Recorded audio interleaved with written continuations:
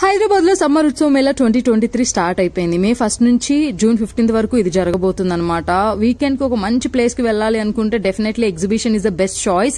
ఫ్యామిలీలో ఉండే అందరికీ నచ్చుతుంది కాబట్టి. కానీ ఈ మధ్యకాలంలో ఎంట్రీ టికెట్ ఓవర్ ప్రైస్ అనిపిస్తుంది. ఎంట్రీ కాస్ట్ వచ్చేసి హండ్రెడ్ రూపీస్. నలుగురు వెళ్ళారంటే నాలుగు వందలు అలా ఖతం అయిపోతూ ఉంటాయి సో దట్ మీరు ప్లాన్ చేసుకోండి.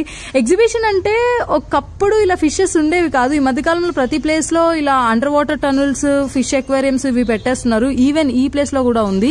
రీసెంట్లీ కుక్కట్పల్లిలో జరిగిన అండర్ వాటర్ టర్నల్ ఎక్స్పోలో మీరు చూసే ఉంటారు. రకరకాల వెరైటీస్ ఆఫ్ ఫిషెస్ ఉంటాయి సేమ్ ఇక్కడ కూడా అలాగే పెట్టారు.